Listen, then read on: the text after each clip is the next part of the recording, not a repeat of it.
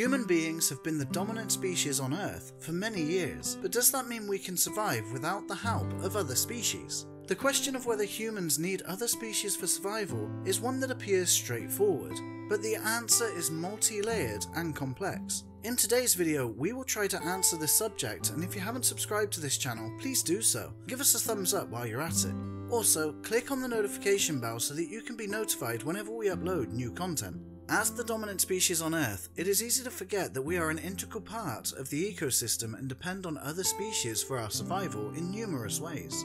Biodiversity, which refers to the variety of living organisms on Earth, is crucial for the proper functioning of ecosystems that provide us with various services such as clean air and water, food and raw materials.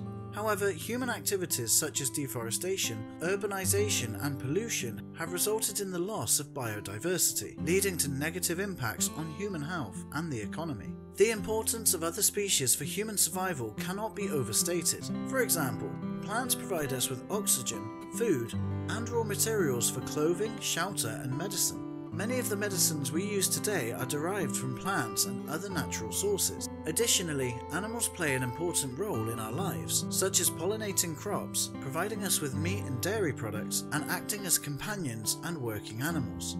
Microorganisms are also crucial for nutrient cycling and decomposition, and they play a role in human health by helping to digest food and protecting us from harmful bacteria.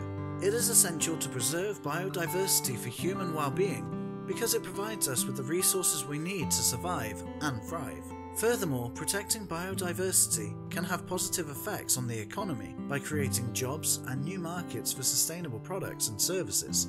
For instance, ecotourism is a growing industry that relies on the conservation of natural habitats and the preservation of wildlife. This can provide economic benefit to local communities and promote the value of biodiversity to a wider audience. The pressure on the environment and other species will increase as the global population continues to grow. However, it is possible to mitigate these negative impacts through sustainable practices, such as reducing waste, promoting renewable energy, and protecting natural habitats. Additionally, the development of new technologies such as genetic engineering and synthetic biology could potentially provide new solutions to environmental challenges.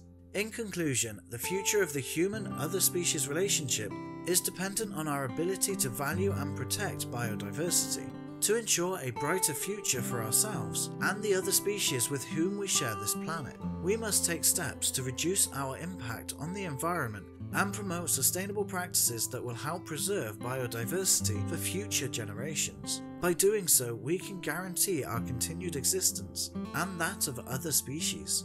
If you enjoyed our video, make sure to give it a thumbs up and subscribe to our channel if you still haven't. Thanks for watching, I'll see you in the next one.